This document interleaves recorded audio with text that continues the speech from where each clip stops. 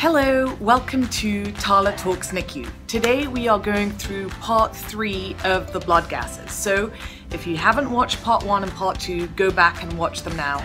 There is going to be quite a bit of repetition in this video, but as we all know, that's how we learn by just being exposed to stuff over and over again until it finally sinks in. So today we are going to go through three main concepts. And again, there's quite a bit of repetition here, so bear with me. The first thing is we're going to go through the two ways in which a gas can be acidotic. The second thing we're going to go through is the two ways in which a gas can be alkalotic. And the third thing that we're going to go through today is the whole concept of compensation by the body to try to get that pH back to neutral. I think this really confuses a lot of people, but it's a very straightforward concept. So bear with us, and I promise you by the end of this video, you will understand it. Right, let's start with the two different ways in which you can have an acidosis, or a pH of less than 7.35. So the first one, as you all know, is a respiratory acidosis, and the second one is a metabolic acidosis. So let's start by talking about respiratory acidosis. Okay, so respiratory acidosis happens when there is insufficient ventilation. Ventilation, remember, is the process of getting rid of carbon dioxide. And ventilation, if you go back and watch the ventilator videos, as you will remember, is dependent on the rate of the breath as well as the tidal volume. Or another way of saying that is ventilation is dependent on how fast you breathe as well as how deep each breath is. So, if an infant is barely taking any breaths, or what we call periodic breathing in the NICU, so we'll take a breath and then might just hang out for a couple of seconds before the baby takes another breath, or the baby is breathing very shallowly, then this would be considered inadequate ventilation the carbon dioxide would then build up in the blood. That carbon dioxide will combine with water in the blood and create carbonic acid. So, a high CO2 results in a respiratory acidosis, or a PCO2 above 45 is considered a respiratory acidosis. The second cause of an acidosis in blood is a metabolic acidosis, or an acidosis resulting from a buildup of acid that is not directly related to breathing issues. This can happen in two main ways. The first one is a buildup of excess acid, and the second one is is if the body loses too much bicarbonate. And if you remember, bicarbonate is the main base or alkali, they mean the same thing in the body. So it's logical that if you lose too much alkali, then what's left will be too acidic. The most common type of excess acid that we see that causes metabolic acidosis is a buildup of lactic acid. And as you remember, lactic acid builds up when the cells aren't getting enough oxygen.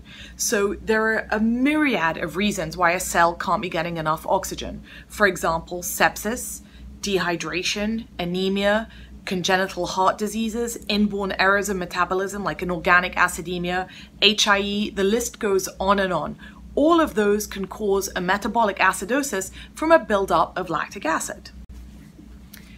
Or another cause of the metabolic acidosis is if the body wastes too much bicarbonate. We already talked about the fact that premature infants' kidneys are also very immature. So the proximal convoluted tubule that's responsible for kind of reabsorbing the bicarbonate normally is very underdeveloped in preemie babies and it can just dump out that bicarbonate at a much higher rate than it should. So that in itself can cause a metabolic acidosis. There are other ways that we can waste bicarbonate. For example, if a baby has really bad diarrhea, that can also result in too little bicarbonate in the body. There are ways to differentiate these two different types of metabolic acidosis, whether you've kind of got a buildup of an acid, especially a lactic acid, or whether you just don't have enough bicarbonate. Obviously, you'd be a lot more concerned about the cause if there really were a buildup of lactic acid. That's where the whole anion gap comes in and the whole elevated anion gap acidosis and normal anion gap acidosis. I will do a lecture about this another time, but for now I just want you to understand the whole concept of metabolic acidosis. To reiterate again, in metabolic acidosis, you'll have a low bicarbonate, less than 18, and you will have a base deficit of minus 3 or more. So, for example, if you have a gas like 7.12, 62, 15, minus 8, then obviously this is an acidotic gas because the pH is less than 7.4. It's much less than 7.4. It's 7.12. So we know flat out that we have acidosis. Now the CO2 is 62, which is higher than 45. So in this case, you also have a respiratory acidosis. What about the bicarb? The bicarb is 15, which is less than 18, and the base is minus 8, which is less than minus 3. So these are both consistent with a metabolic acidosis. So in this gas, you have a respiratory acidosis as well as a metabolic acidosis. This is what we call a mixed acidosis. Right, now let's talk about number two, the two different ways that a blood gas can be alkalotic or a pH is more than 7.45. So the first way is a respiratory alkalosis. Remember, ventilation again is dependent on how fast you breathe and how deeply you breathe. So if a patient is breathing very rapidly or very deeply, then the carbon dioxide in the blood will go down. Because the carbon dioxide will go down in the blood, it will shift the equation the other way. And instead of ending up with a buildup of acid, you'll end up with less acid or more alkali in the blood. So a CO2 of less than 35 in the blood is considered respiratory alkalosis. There are several common scenarios that can end up with a respiratory alkalosis.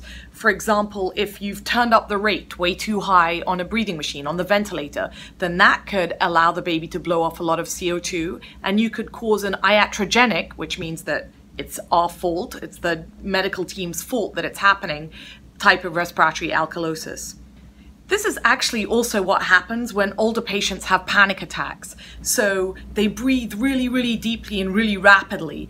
And if you remember, the kind of an older method of dealing with panic attacks was to put a paper bag that the person having the panic attack could breathe into. And the whole point of that was that then that patient would be re-inhaling some of that carbon dioxide so it wouldn't be as severe, the respiratory alkalosis. If a baby is lacking oxygen or they're hypoxemic, sometimes they will also breathe really deeply to try to get as much oxygen into the body as possible.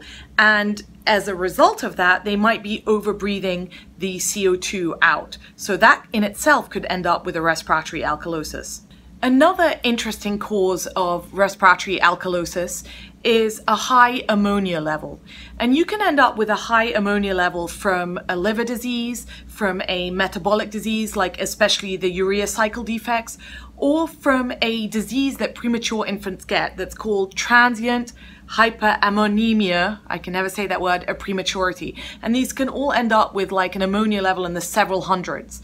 For whatever reason, this causes a respiratory alkalosis. And sometimes this is how these diseases are actually diagnosed because you end up with a low CO2, really of uncertain etiology, and you start delving into a cause and you'll end up with one of these. The second cause for an alkalosis, logically, is a metabolic alkalosis. And this happens when you have a bicarbonate level of more than 30 in blood. The most common reason for this is when the kidneys, for whatever reason, are abnormally retaining the bicarbonate. So instead of allowing it, the body to just pee out the bicarbonate and lose it that way, the kidneys are holding onto it and allowing the bicarbonate level to get up. In the NICU, there are really three main reasons or three main scenarios where we see a metabolic alkalosis. The first one is a compensatory alkalosis, and I'm going to talk about that in a second, where really that isn't the initial problem. The second one is when we give diuretics, especially when we give loop diuretics. So for example, Lasix or Bumex, furosemide. So in those cases, it throws off the balance of the channels in the kidneys, and as a result, it, the kidneys end up absorbing a lot more of the bicarbonate that they should.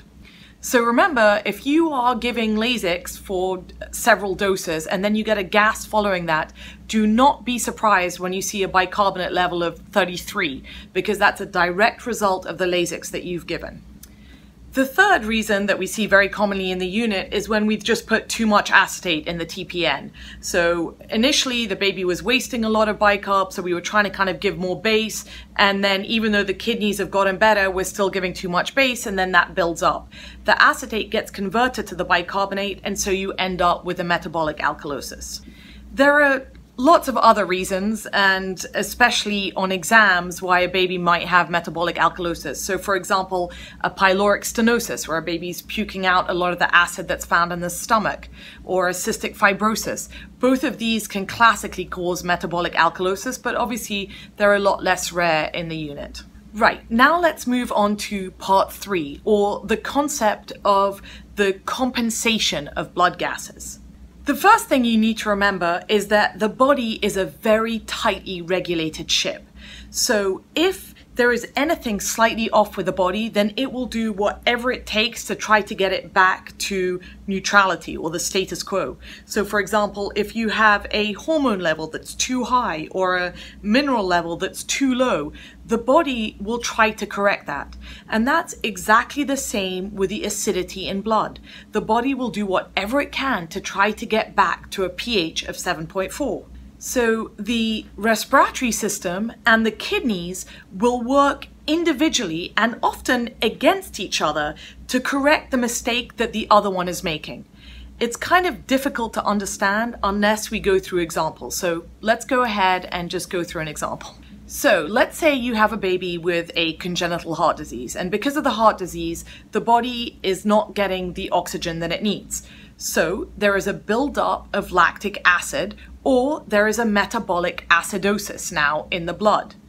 The body does not like having a metabolic acidosis, so it's going to do what it can to try to get the pH back to neutral.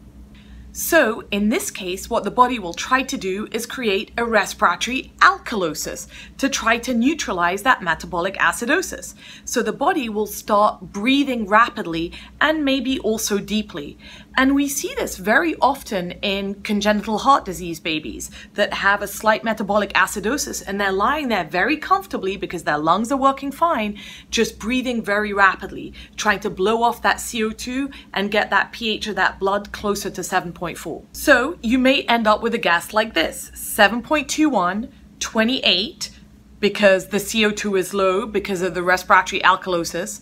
13, the bicarb is low because you have a metabolic acidosis, and minus 11, which obviously also goes along with the metabolic acidosis. So yes, you still have an acidosis, but it's not nearly as low the pH as it would be if the CO2 were normal.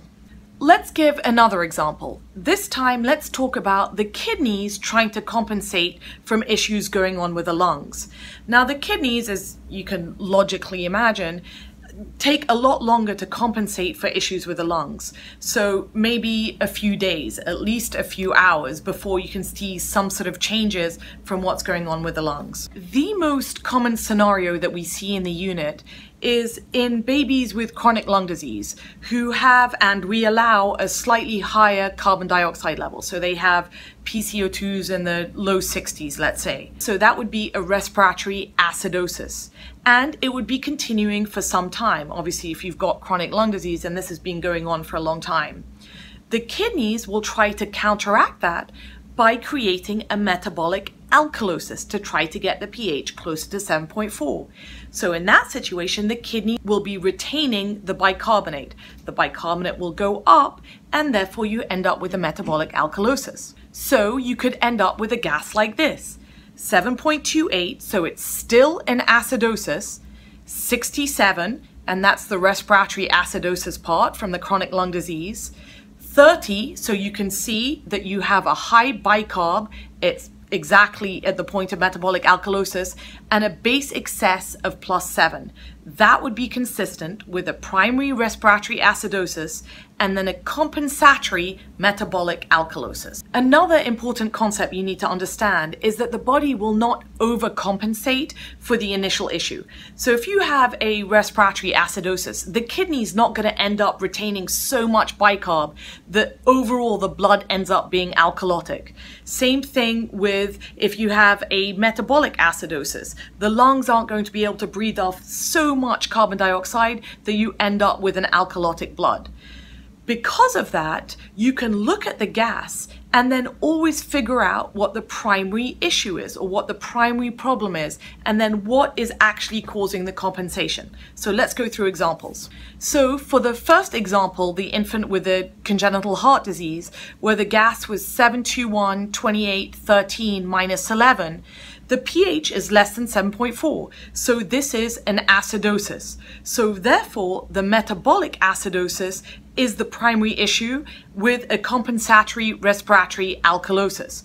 We cannot say that the problem with this baby is that it's just breathing too fast. And really, we have issues with overventilating this kid because we still have an acidosis. The primary issue isn't going to be the respiratory alkalosis because the blood is not alkalotic. Okay, what about the second example with the pH of 728, CO2 of 67, bicarb of 30, and a base excess of plus 7? Again, the pH is 728. This is acidotic. So again, this must be a respiratory acidosis as the primary issue because we're not going to get overcompensation. So we also, in this case, do have a compensatory metabolic alkalosis, but that is not going to be the primary issue because if that were the primary issue, the pH would be 7.54 or something. That is a lot of information. I hope that it all kind of starts to fit together. The best way to really understand it is just to go through lots of examples. So we're going to be releasing um, a lot of videos on different blood gases and how to interpret them and then what we should do about them.